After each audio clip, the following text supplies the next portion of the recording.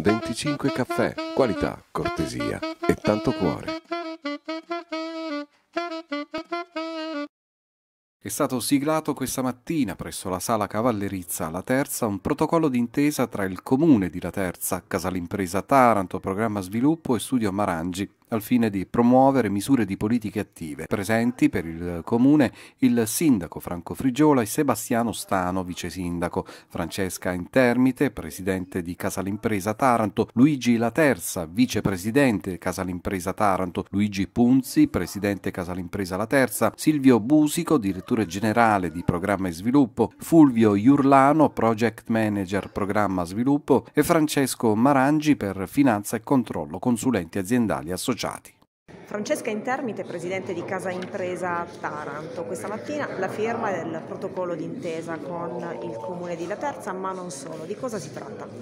L'ente civico ci ha dato disponibilità a portare avanti questa iniziativa che nelle finalità del, della nostra associazione datoriale eh, abbiamo inteso eh, perseguire eh, sin dalla nascita. Eh, la formazione riteniamo possa essere importante per creare il potenziale di sviluppo per il nostro territorio e questo progetto parte dalla Terza, una città dinamica, una città giovane, una città che crede eh, che eh, si può cambiare a partire dalla uh, formazione. Io credo che sia una grande opportunità per il nostro territorio, per la nostra realtà. Uh, come amministrazione abbiamo, uh, personalmente ho fortemente voluto una delega eh, che è stata affidata al vice sindaco Sebastiano Stano, che, era, che è la delega alla, incubat come incubatore di imprese. No?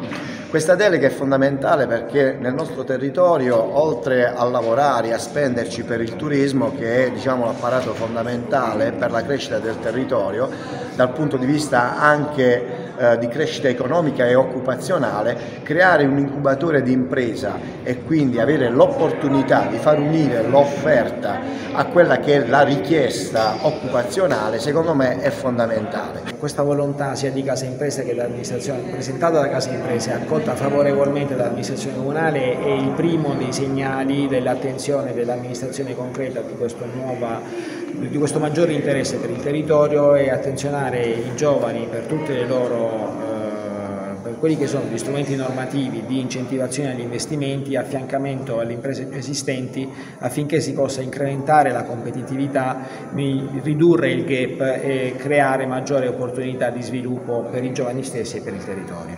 Un protocollo d'intesa, si parla di formazione e qui entra in gioco programma sviluppo. Sì, eh, è un protocollo d'intesa importante con, con, il quale estendiamo la nostra eh, rete di Orienta Giovani sul territorio della provincia di Taranto con questo nuovo sportello. Uno sportello che ha una duplice veste, un duplice target di riferimento, giovani e imprese.